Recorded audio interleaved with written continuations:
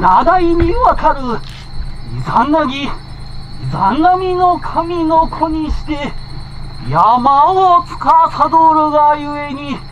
大山積みの神と申す者にて候あまりの身の苦しさに天のかぐ山へと走り登り手をば中天にと差し上げ足をば八海にと踏み下ろししばし九郎その間この芝を見失いたりここに芝さが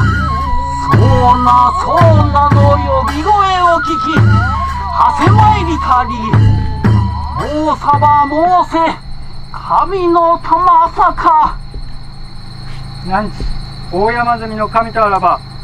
この剣を心情のほどにこの地このところにおいて悪魔退散のため悪義理を成したまえ心得申して候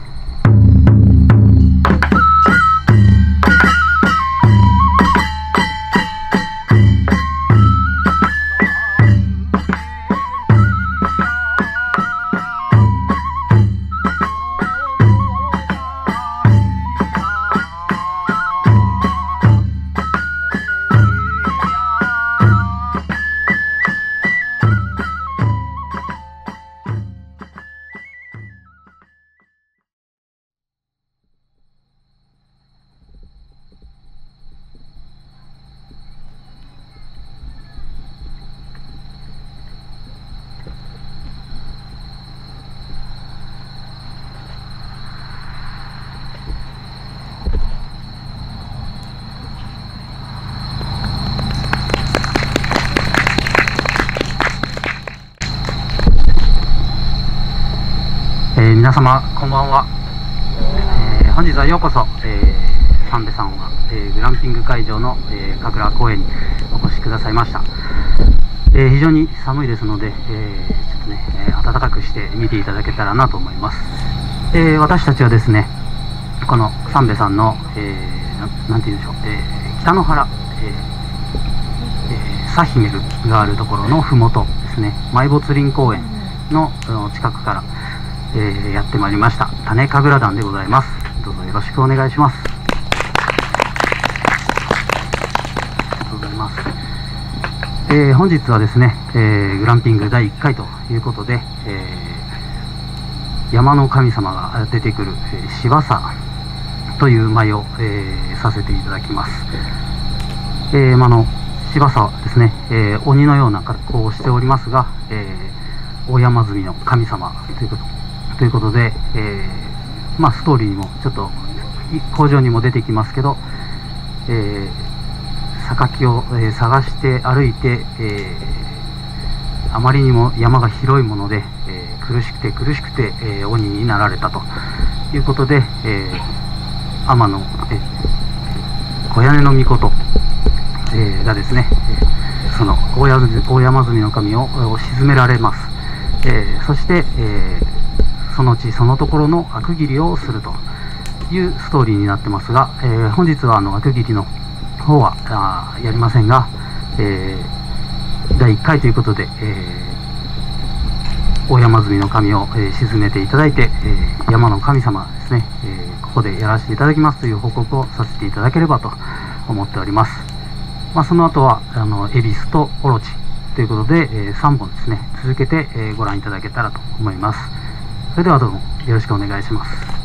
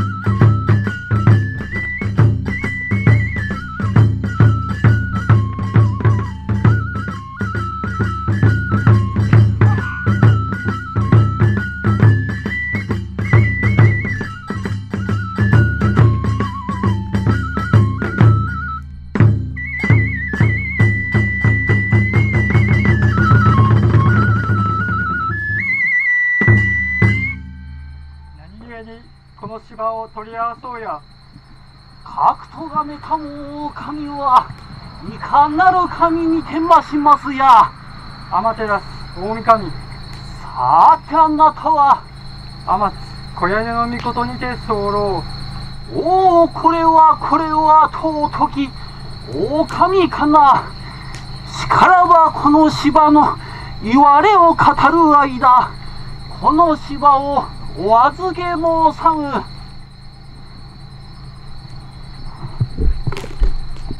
むお我はこれ。天神七代にわたるイザナギイザナミの神の子にして山を司るがゆえに大山積みの神と申す者にて候。山を司るがゆえに山回りすることさらに暇もなし。あまりの身の苦しさに天のかぐ山へと走り登り手をば中天にと差し上げ足をば八海にと踏み下ろししばし九郎その間この芝を見失いたりこここと尋ね回れど芝に会うことさらになし。また元のところにと立ち返り四方八方きっきと案ずればここに柴さがそうなそうなの呼び声を聞きはせ参りたり。もうさば申せ。神の玉さか。何時大山積みの神とあらばこの剣を心情のほどにこの地このところにおいて悪魔退散のため悪義理を成したまえ心得申して候